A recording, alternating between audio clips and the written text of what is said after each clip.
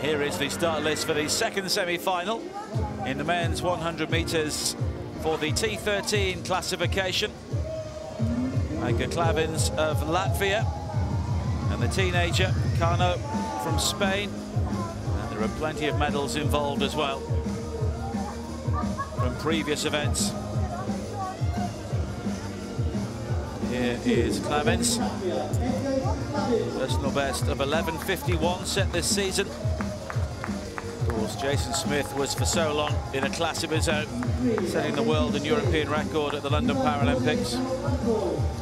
Ivan Jose from Alicante, 19 years of age.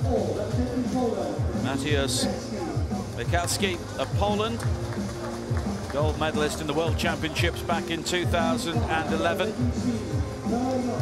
Per Jönsson of Sweden,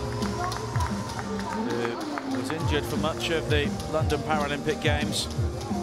Bacou Dambakate of France has run 11.71.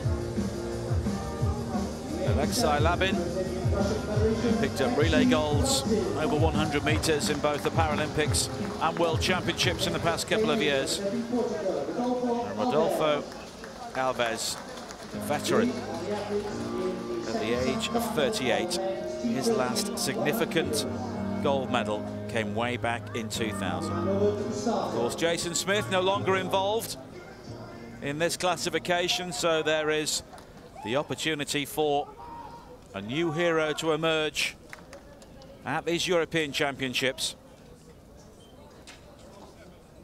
And Labzin has a personal best of 11.03. He and the pole in lane four, Michalski, could be the men to watch in this second semi-final.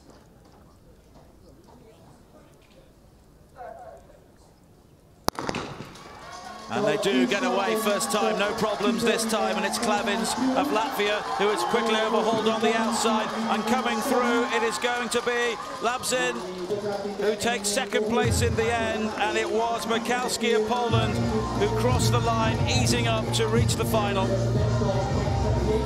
11.66, the winning time for Michalski of Poland and the world champion from 2011.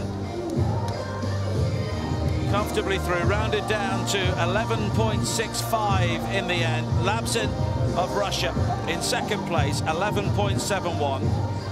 Three qualified from the heat. And Jönsson of Sweden through in third, 11.83.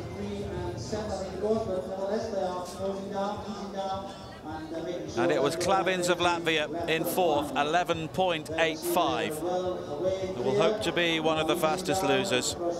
But it was comfortable in the end for first and second. And a scramble for Per Jönsson to snatch the final qualifying place.